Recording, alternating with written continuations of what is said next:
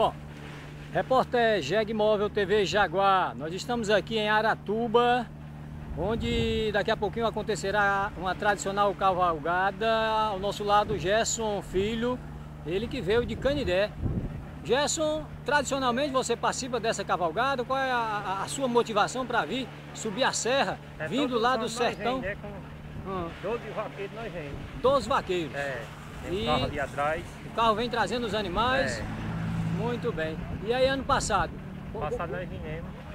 Muita gente, muitos Muita gente, participantes. é. Vem mais alguém além da- dessa sua equipe lá do Canindé? Vem.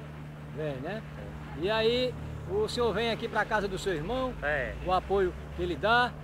E qual é a sua expectativa para essa cavalgada deste ano?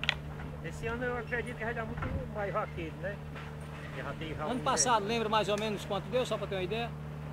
Sei não, mas foi na base de um 500 a 600, né? Em torno de 600 vaqueiros. E esta desse ano, o senhor acredita que vai superar? Eu acredito que vai dar uns mil, né? É, né? É. A, a, a região da Serra do Maciço, toda Vem ela toda, participa? é. Toda ela participa, né? E ainda volta hoje ainda? Volta hoje. Estamos Volta terreno na embarca. E além desse tipo de evento de cavalgada, o senhor participa de pega de boi, essas coisas assim? Participa. Qual foi a última que o senhor participou? Foi em maio, lá no Estagindo.